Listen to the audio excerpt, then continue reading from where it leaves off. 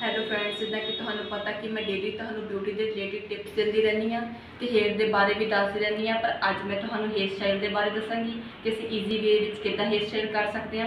ਅੱਜ ਮੈਂ ਆਪਣੇ ਕਲਾਇੰਟ ਦੇ ਮਿਡ ਦੇ ਵਿੱਚ ਹੇਅਰ ਸਟਾਈਲ ਕਰਾਂਗੀ ਤੇ ਬਾਕੀ ਬਾਲ ਖੁੱਲੇ ਰਹਿੰਦੇ ਦੇਵਾਂਗੀ ਚਲੋ ਅਸੀਂ ਇਹ ਵੀਡੀਓ ਹੁਣ ਸਟਾਰਟ ਕਰਦੇ ਹਾਂ। ਸਭ ਤੋਂ ਪਹਿਲਾਂ ਅਸੀਂ ਕਰਾਂਗੇ ਸੈਕਸ਼ਨਿੰਗ ਅਸੀਂ ਹੁਣ ਸੈਕਸ਼ਨ ਕਰਾਂਗੇ।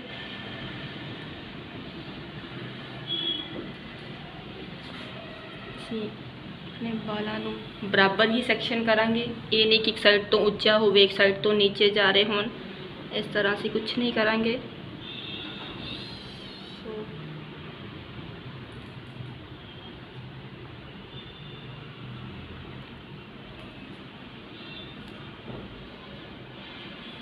ਜਿਹੜਾ ਸੈਕਸ਼ਨ ਹੈ ਉਹ ਨੀਟ ਐਂਡ ਕਲੀਨ ਹੋਣਾ ਚਾਹੀਦਾ ਹੈ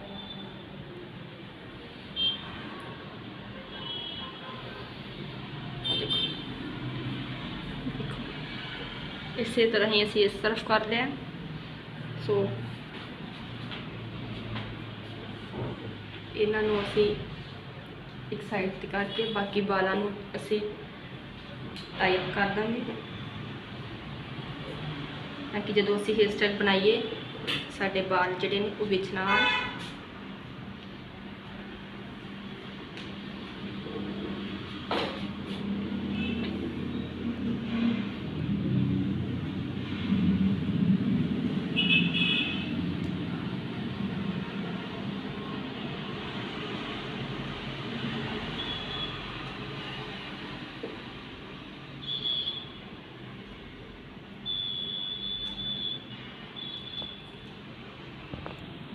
ਅਸੀਂ ਬਾਲਾਂ ਦਾ ਫਰਸਟ ਤੋਂ ਸਟਾਰਟ ਕਰਾਂਗੇ।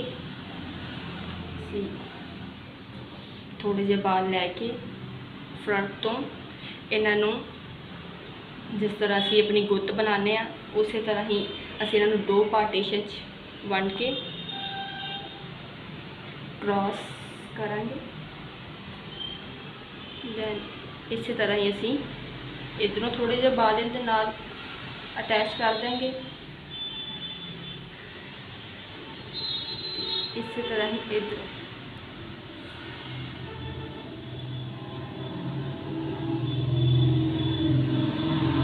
ਇਸੇ ਤਰ੍ਹਾਂ ਹੀ ਕਰਦੇ ਜਾਵਾਂਗੇ ਰਿਪੀਟ ਕਰਦੇ ਜਾਵਾਂਗੇ ਸੋ ਇਸ ਤਰ੍ਹਾਂ ਹੀ ਅਸੀਂ ਪੂਰੇ ਵਾਲਾਂ ਦੇ ਉੱਪਰ ਹੇਅਰ ਸਟਾਈਲ ਬਣਾਵਾਂਗੇ ਸੋ ਲਾਸਟ ਵਿੱਚ ਅਸੀਂ ਪਿੰਨ ਲਗਾ ਦਾਂਗੇ ਤਾਂ ਕਿ ਸਾਡਾ ਹੇਅਰ ਸਟਾਈਲ ਜਿਹੜਾ ਉਹ ਖਰਾਬ ਨਾ ਹੋਵੇ ਤੇ ਕਾਫੀ ਸਮੇਂ ਤੱਕ ਇਦਾਂ ਹੀ ਬਣਿਆ ਰਹੇ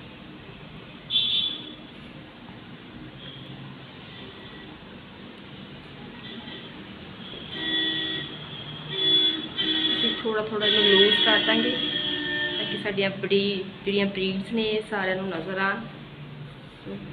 ਸਾਈਡ ਤੋਂ ਅਸੀਂ ਬਾਰਾਂ ਨੂੰ ਸੋ, ਮੈਨੂੰ ਉਮੀਦ ਹੈ ਕਿ ਮੈਨੂੰ ਉਮੀਦ ਹੈ ਕਿ ਤੁਹਾਨੂੰ ਮੇਰਾ ਹੇਅਰ ਸਟਾਈਲ ਪਸੰਦ ਆਇਆ ਹੋਵੇਗਾ। ਤੁਸੀਂ ਇਹਨੂੰ ਜ਼ਰੂਰ ਟਰਾਈ ਕਰੋਗੇ। Thank you